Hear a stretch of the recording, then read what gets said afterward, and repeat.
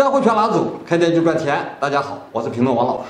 之前我教过大家一期卤猪蹄用红卤，今天我用一个黄卤做一个卤鸡爪。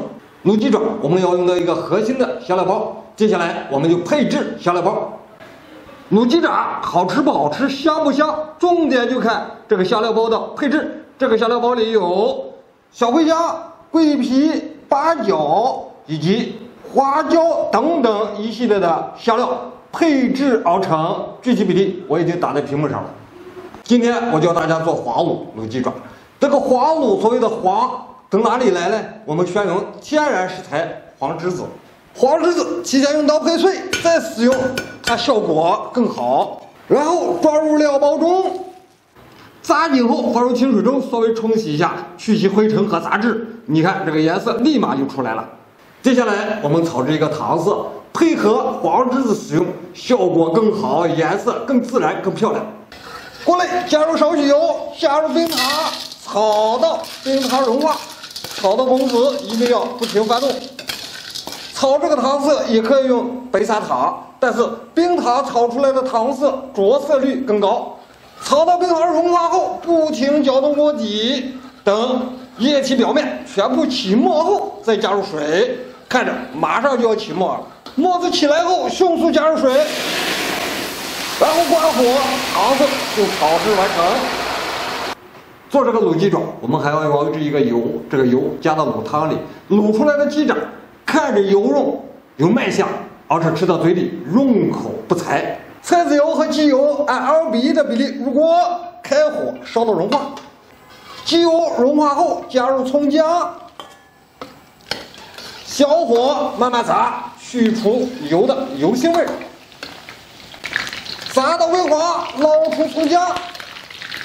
捞出的葱姜千万不要倒，放凉后我们装入香料包中。刮火后，这样我们的料油就制作完成。所有准备工作完成，接下来我们卤鸡爪。买回来的鸡爪，我们提前去掉指甲。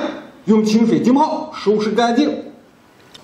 提前准备好一锅高汤，高汤的教学我们前期视频有，烧开，然后加入黄栀子包和糖色，搅拌均匀后，再加入盐和我们的香料包，下鸡爪，然后放上上辈子。用碗压住，然后顺着锅边加入我们熬好的油，全程用小火。如果用大火卤的话，卤出来的鸡爪外形不完整，皮容易烂。十五分钟时间到，关火，然后浸泡二十分钟。